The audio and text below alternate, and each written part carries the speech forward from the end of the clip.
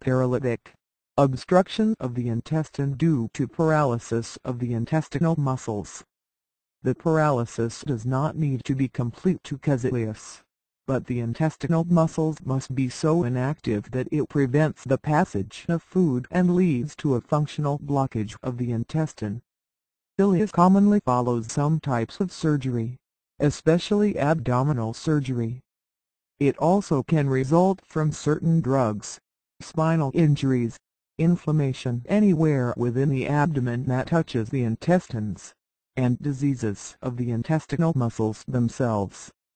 Irrespective of the cause, ileus causes constipation, abdominal distension, and nausea and vomiting. On listening to the abdomen with a stethoscope, few or no bowel sounds are heard because the bowel is inactive. Also simply called ileus. Ileus paralytic, obstruction of the intestine due to paralysis of the intestinal muscles. The paralysis does not need to be complete to cause ileus, but the intestinal muscles must be so inactive that it prevents the passage of food and leads to a functional blockage of the intestine. Ileus commonly follows some types of surgery, especially abdominal surgery.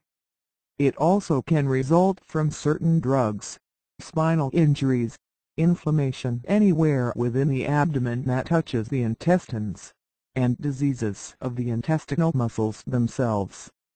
Irrespective of the cause, ileus causes constipation, abdominal distension, and nausea and vomiting. On listening to the abdomen with a stethoscope, few or no bowel sounds are heard because the bowel is inactive.